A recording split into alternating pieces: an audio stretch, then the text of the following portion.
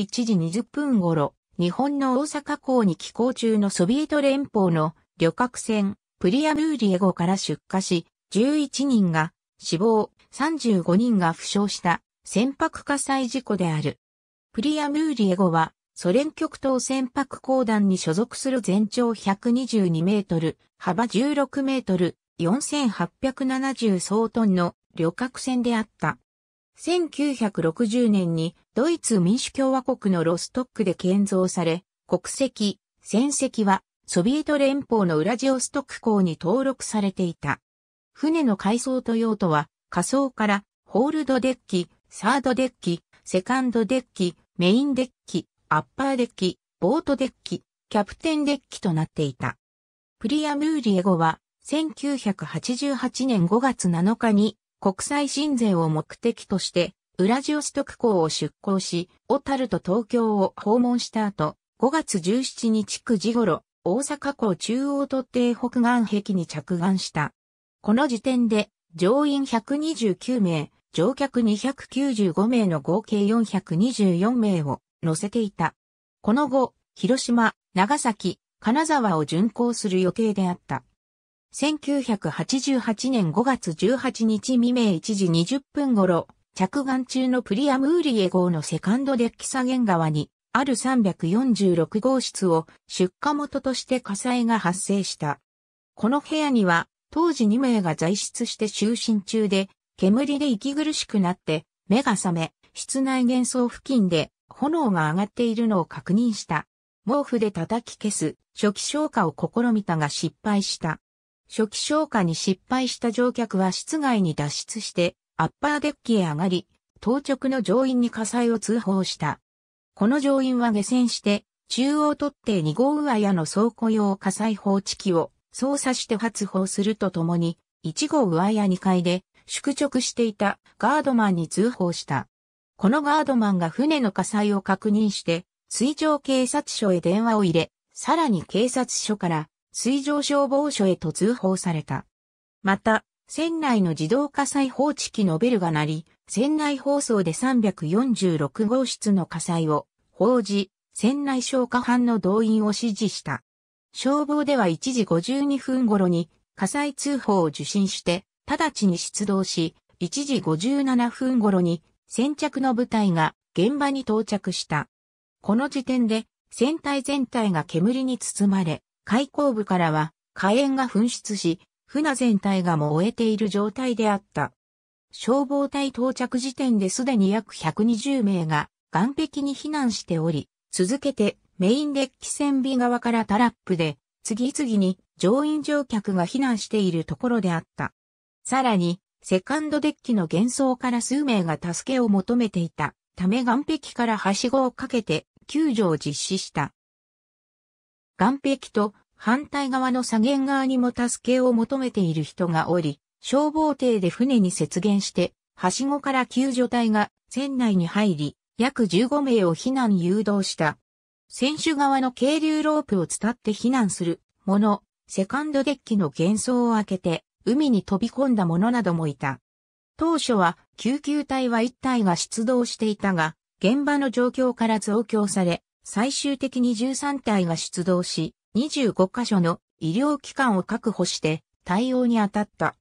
応急救護所を現地に開設し、避難場所となった築港中学校にも医師を配置し、13隊で29名の傷病者を13カ所の病院へと搬送した。これ以外に6名の負傷者を現場で処置した。消防は内部の複雑な通路や階段、細分化された区画といった船特有の問題に加え、猛烈な煙と熱気のために内部への侵入が困難で、消火も実態把握も困難な状況であった。このため主に船外やデッキから放水を行ったが、大量に放水すると船のバランスを崩して、転覆沈没の恐れがあり、断続的に放水と排水を繰り返し、さらに比重の軽い泡による窒息消火もいった。こうした困難を極めた消火活動のため、鎮火までに17時間を要した。鎮火時刻は18時36分であった。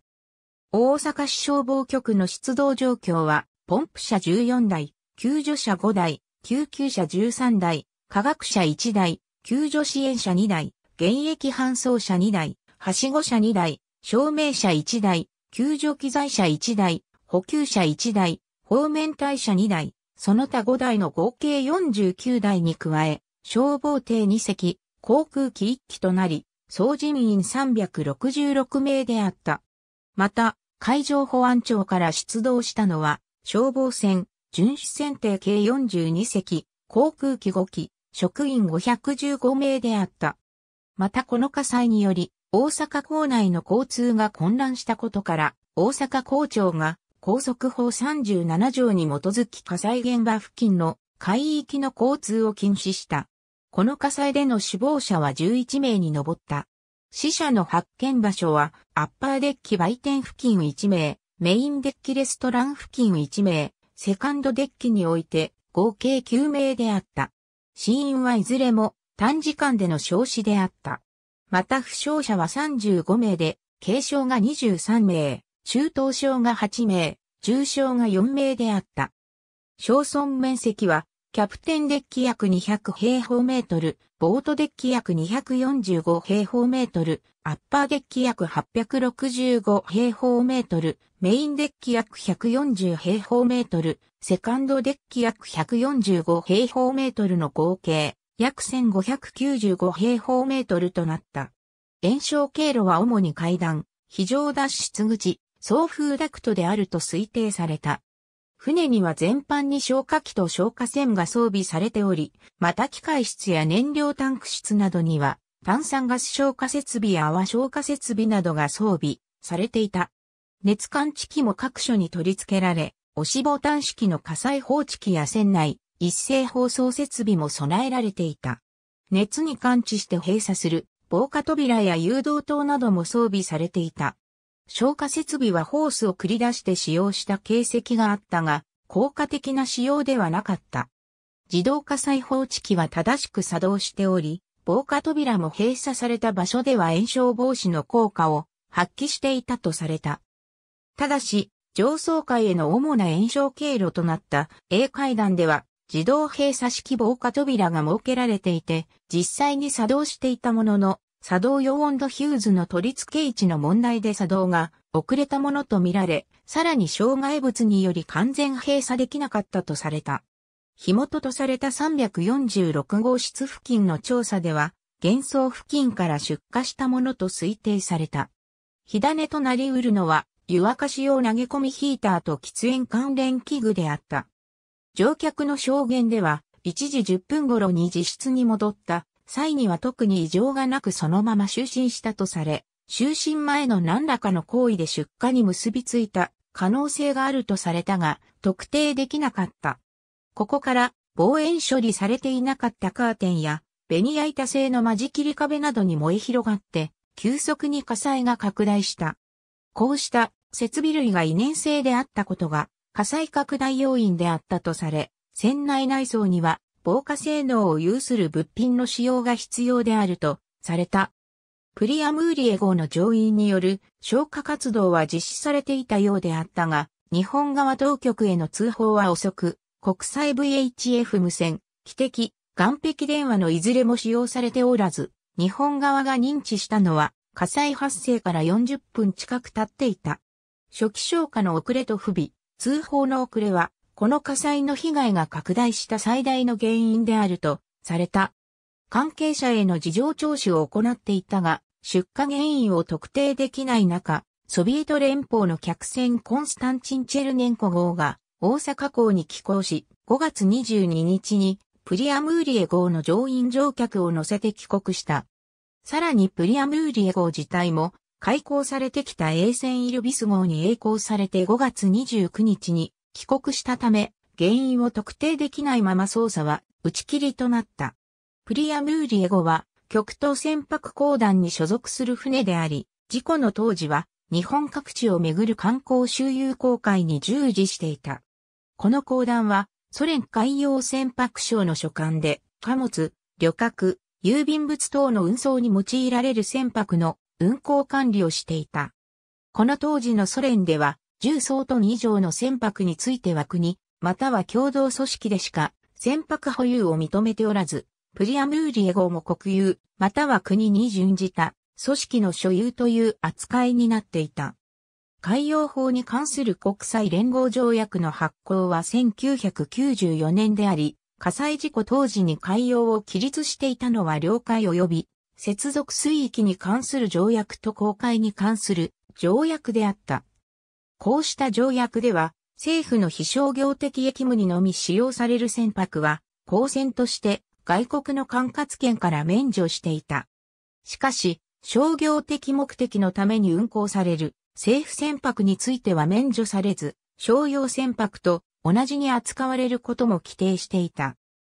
ところが、ソビエト連邦を含む社会主義国は、当時、政府の船舶は商業目的に使用されていても絶対に外国の管轄を免除されるという絶対免除主義をとっており、ソビエト連邦が公開条約に署名する際には、この立場に抵触する条文について留保していた。